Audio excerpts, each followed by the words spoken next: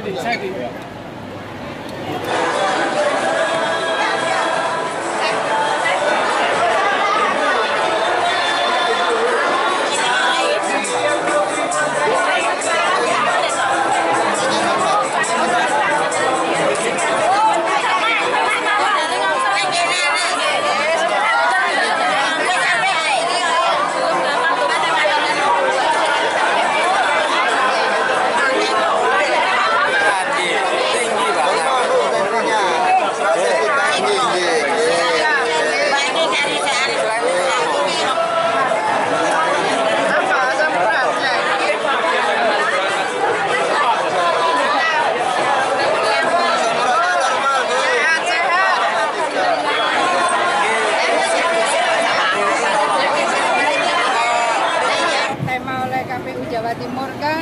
Bahwa pilkada serentak ini dibawa pada tagline riang gembira.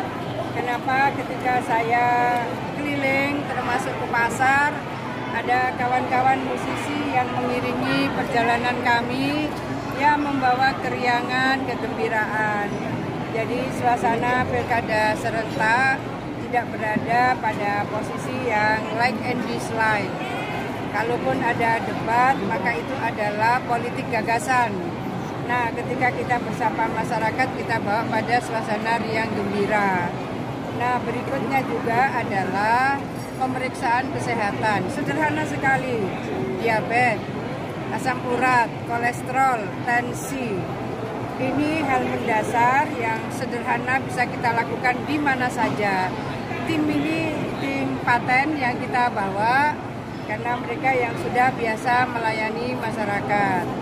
Meskipun mungkin di puskesmas gratis, klinik-klinik Pratama gratis, sangat mungkin kalau di pasar mereka tidak sempat. Jadi lebih kepada upaya penjangkauan. Karena di mana saja ini panjang yang antri. Kita di Sidoarjo yang antri panjang, kemarin di Malang panjang, di Surabaya pun di berbagai pasar peminatnya banyak sekali. Itu artinya bahwa mereka ingin mendeteksi apakah di dalam proses keseharian mereka mereka ingin ketahui ada kolesterol, asam urat, tensinya, termasuk gula darahnya.